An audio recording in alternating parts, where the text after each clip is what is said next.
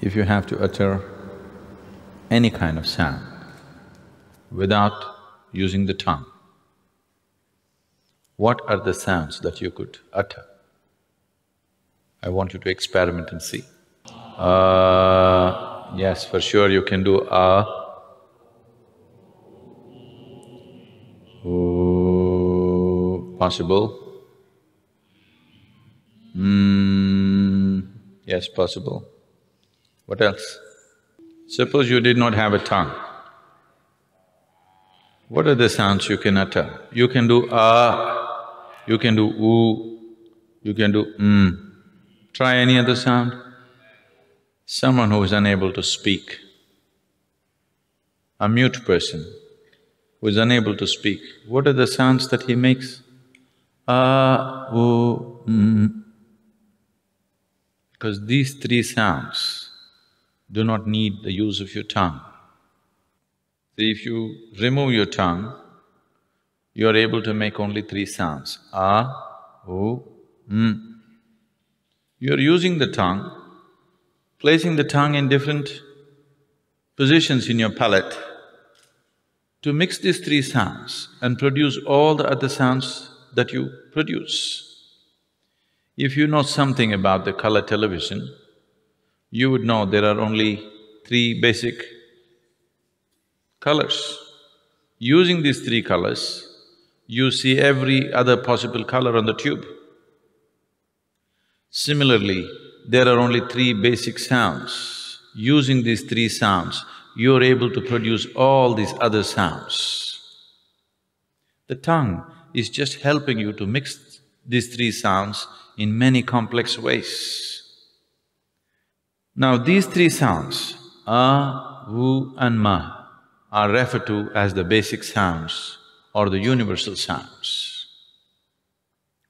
Because these three sounds are the basis of all the other sounds that you can utter.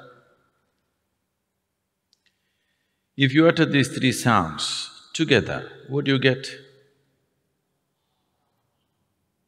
It's not oh, um. So these are the three basic sounds which are the very basis of all the other sounds that you can utter. So Aum is known as the universal sound or the basic sound in the creation. If this is true, how come only a certain religion seems to be using it as a brand for themselves and nowhere else it is known? That is not true. Wherever there is a realized being, there sound Aum will be there. For example, Christianity, born in Jerusalem, where the language at that time was Aramaic. Aramaic language has a certain inflection where sound n is dominant. So in Christianity, whatever they close with today, whatever they say, they close it with Amen. If you look at it the way it is said at the Vatican, it's always said, Amen. You take off the N and say Amen. Um, If you want to understand this, you can see a similar inflection in Tamil. See now, for example, Ram. You know Ram, born in Ayodhya? He came down south. When he came south, when Ram entered Andhra Pradesh and Karnataka, people called him Rama. Then he crossed the Tamil Nadu border, people called him Raman. If Krishna comes to Tamil Nadu, what will you do? Krishnan. If Arjun comes to Tamil Nadu, what do you do? Arjunan. If Bheem comes to Tamil Nadu, what do you do? Bhiman. Whoever enters Tamil Nadu border, they get unified.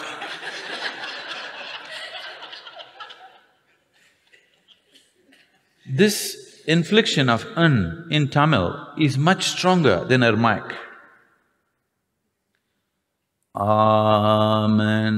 You take out the N, it's just Aum. Today this Amen has gone to United States of America and become Amen.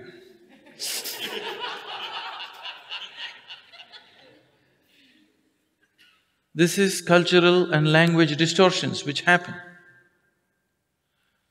Islam, born also in the same region, under the same cultural and language influences, they are saying, Ameen. Take away N and say Ameen. Um, oh, it's the same sound. Because wherever a human being becomes silent by his own nature, not school teacher silence, not plugging your ears silence, if you become silent by your own nature, sound um will reverberate in the system because the root sound for your physical existence is sound um. When um reverberates, it starts from just beneath the navel and ends at the tip of your nose. This reverberation will just happen by itself.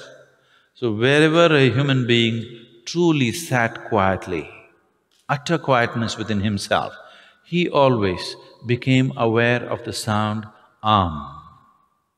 When he transmitted it, it got distorted over a period of time according to language and cultural influences. Even in India, Aum has become Om. It is not Om. You open your mouth and say Ah. Gently close your mouth, it becomes Oo. You close it, it becomes Mm.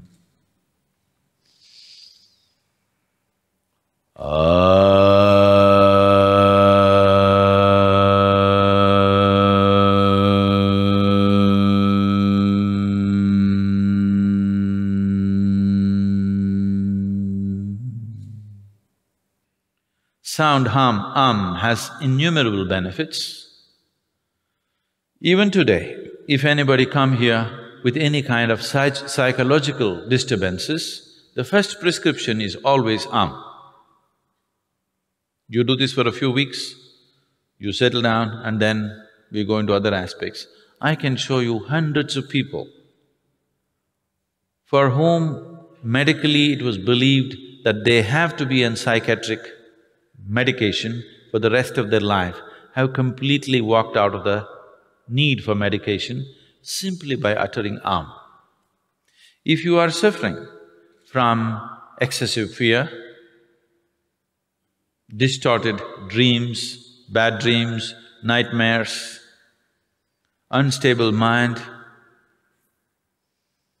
unstable body, if your general constitution is weak, you tend to fall sick too often, particularly children, if they have attention disorders, daily utterance of Aum for a few minutes a day will make a enormous difference for you. If you have problems that you are unable to do anything with a certain resolve in your life, daily utterance of Aum will be truly trans transformational for you. Within a couple of weeks, you can notice a phenomenal difference in the way you function. Because this is the basic sound in your physical existence.